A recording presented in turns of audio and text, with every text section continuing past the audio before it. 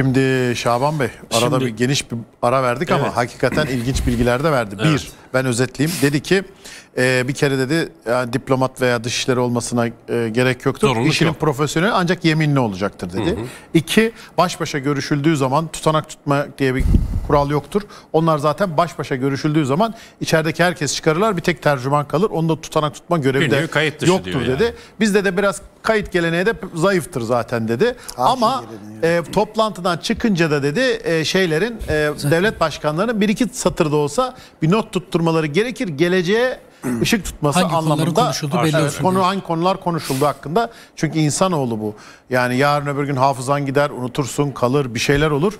E, ama Başka devletin hükümetler devamlılığı gelir, açısından tabii. tabii. devletin devamlılığı açısından önemlidir. Neler söyleyeceksiniz? Şimdi- Kemal Kılıçdaroğlu'nun Fatma, Fatima dediniz. Anlatacağım dediniz onu da. Hı hı. Fatma ile Fatima arasında ne fark var? Ha. E, Fatima Gülham, Abuş Hanap. Evet. Şimdi E, buna itirazınız var mı? Yani bu isme itirazınız var mı? şimdi şöyle ismini önce doğru söyleyelim. Söyleyelim. Yani ismi nedir? Ee, Sayın Cumhurbaşkanı'nın tercümanının yani Sayın Kılıçdaroğlu'nun hanım kızımız dediği kişinin Fatima Fatima Gülham Abu Sanat. Fatima Gülham Abu Sanat. Türkçe mi bu isimler? E, iki ismi ve soy ismi Türkçe mi? Değil. Türkçeleşmiş haline Fatma.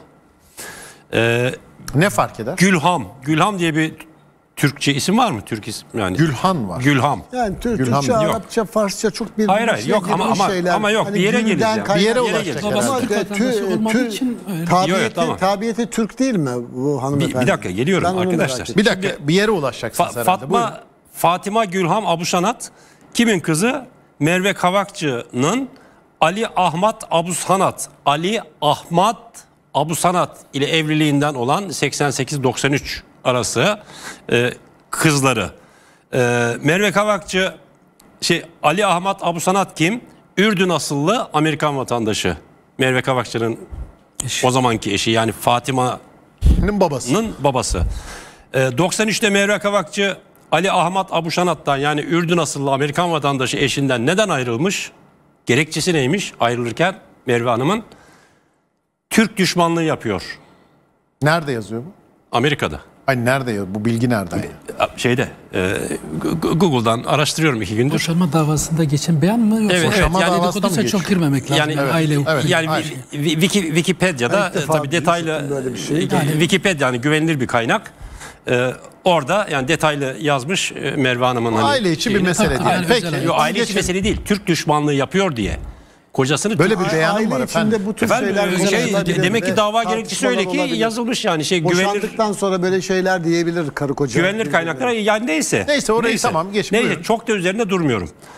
Yani Merve Kavakçı'nın Türk düşmanlığı yaptığını iddia ederek boşadığı Ürdün asıllı Amerikan vatandaşı Ali Ahmet Abusanat'la evliliğinden olan kızı Fatima Gülham Abusanat. Tamam. Şimdi Sayın bu ne, ne Cumhurbaşkanımızın ifade ediyor? Evet, Türk Ee, düşmanlığı genetik olarak kızına geçmiş. Kızına geçecek mi?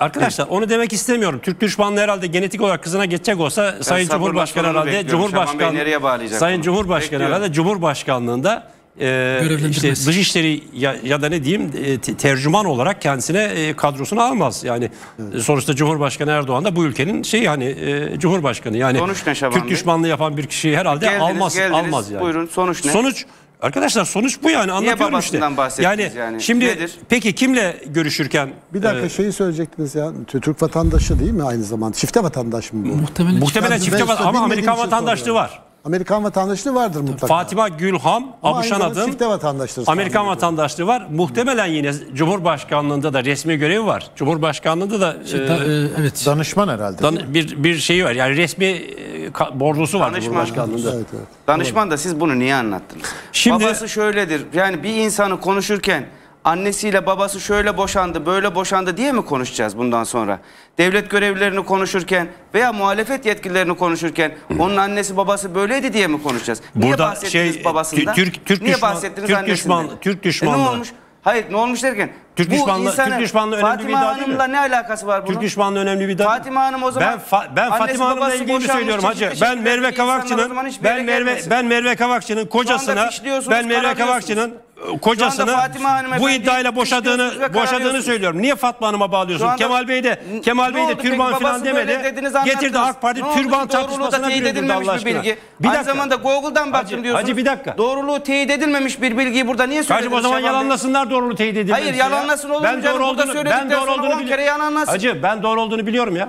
Ben merak ediyorum. Ben doğru olduğunu biliyorum. Sana ne oluyor? bir insanı konuşurken niye annesi babası boşanmış diye bundan niye bahsedilir? E, ki- Amacınız e, neydi? Kim olduğunu kim olduğunu öğrenmeye çalışıyoruz. Bu mu kim Bütün olduğunu bu mu açığa çıkarıyor? Sayın kardeşim Sayın Cumhurbaşkanı'nın Amerikan Başkanı ile yaptığı görüşmeye Konumuz giren tercüman kız. mu? Demokratik bir ülke olarak özgür fikirli insanlar olarak kim bu kız? Kim Peki bu tercüman? olmamalı mı diyorsun Araştırıyoruz. Yedi göbeğini araştırıyoruz. Araştırmakta diyorsun? Biz gazeteciyiz. Olmamalı ne demek? mı diyorsun? Araştırmayacağım mı? Soruyorum Cumhurba- sana. Cumhurbaşkanı Biden'ın Biden'la Erdoğan'ın görüşmesinde tercümanlık yapmış.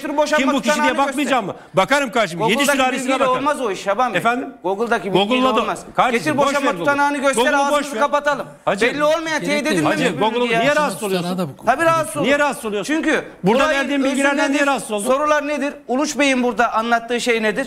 Bu olay olabilir mi? Böyle bir şey olabilir mi? Kemal Bey'in e, bu dili doğru mudur? Bunu konuşurken birdenbire Bey bak bu. Bu şuna bir. CHP'liye de yapılsa. bak Biz şimdi. bunu konuştuk. Ya. Bir CHP'li yarın Bu o arada zaman bir Selahattin. Demirtaş'ın çocuğunu Ya. okulda okurken senin baban bu muydu şu muydu diye mi konuşacağız? Yapmayın ya. Şimdi Hacı şöyle- yakışıklı bir bir şey- saniye. bir Fuat şey hatırlatayım. müsaade Bak. edin. Kemal Bey'in bu konudaki tweetini bir Tarihsel bir şey hatırlatayım. Ne dedi? 150'liklerden bazılarının çocukları büyükelçi yapıldı. Evet, Kimin? şey- Mustafa Kemal Atatürk tarafından. Şeyin e, Zeki Kuner Alp'i Kuner Alp. Evet, evet, evet, evet. Yani onun için Burada en çarpıcı örneği Fuat Uğur. Evet, evet. hatırlattı. Evet, aha. izleyicilerimiz için de söyleyelim. Zeki Kuneralp sadece diplomat diye bir kitabı vardır sevgili izleyiciler. Meraklıları gidip bulabilirler.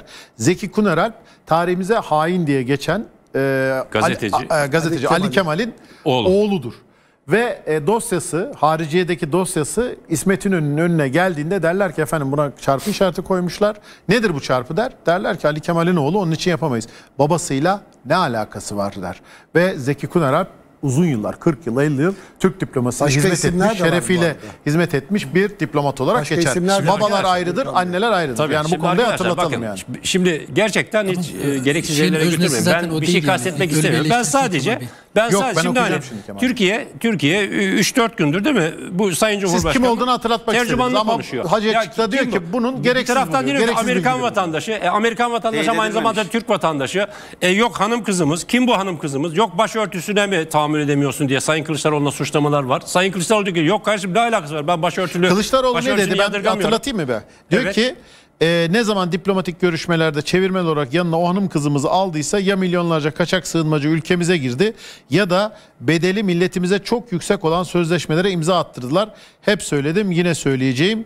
E, Batı Erdoğan hakkında çok şey biliyor diye hanım imalı bir ne demek? Bir devlet yetkilisine, Şimdi- Cumhurbaşkanı danışmanına hanım kızımız ne demek ya? Şimdi- Böyle bir üslup, üslup bir Şimdi bir- siyasetçiye yakışıyor mu?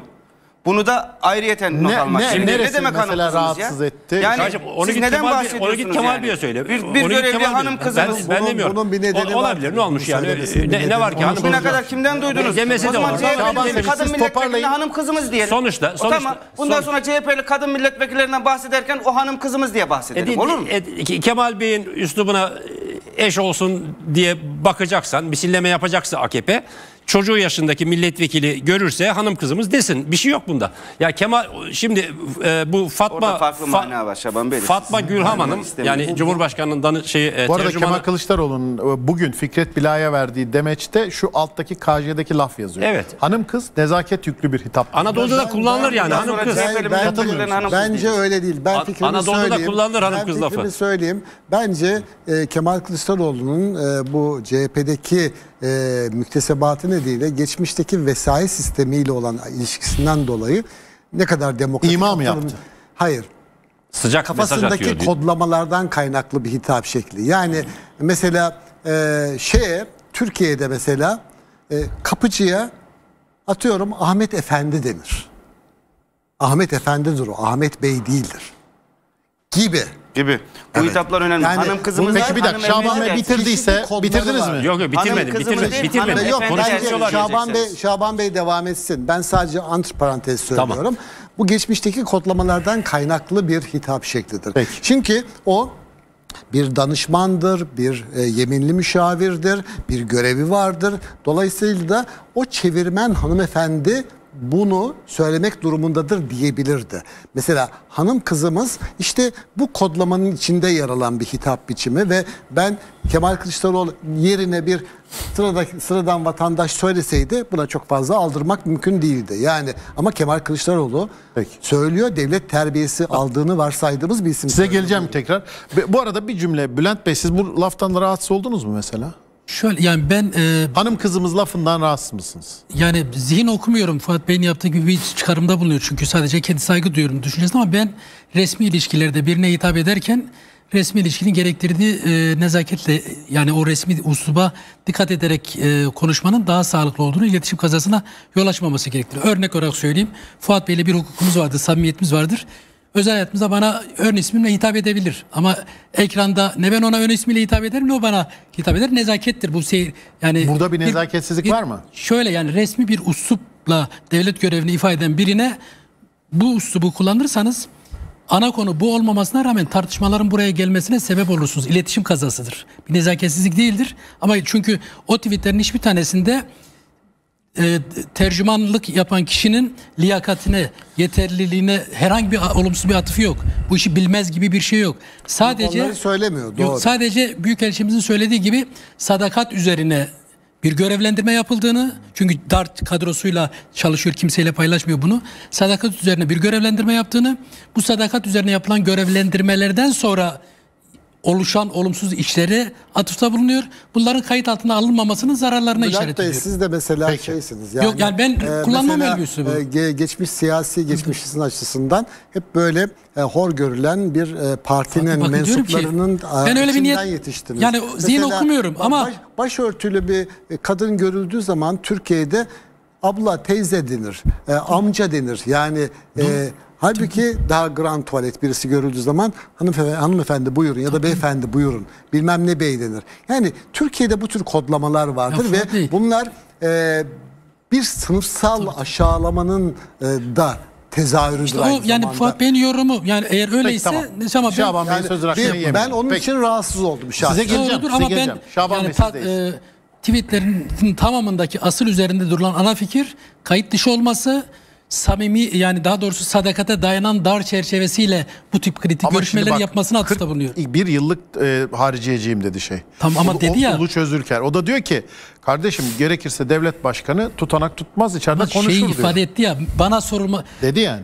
doğru kişilerle bunu yaptığı konusunda da şüphelerim var dedi. Dışişleri mensubu olmasına da gerek Aa, yok. olabilir. İşte Olur onu söylüyor. Yani Kemal Bey de ifade Bey- etti. Sadakat üzerine bir e, görevlendirme olmasına işaret ediyor. Çünkü sen bu tip Diyor. Kemal sözleri diyor. verdiğin toplantılara bu, bu görevlendirmeleri yapıyorsun diyor yani.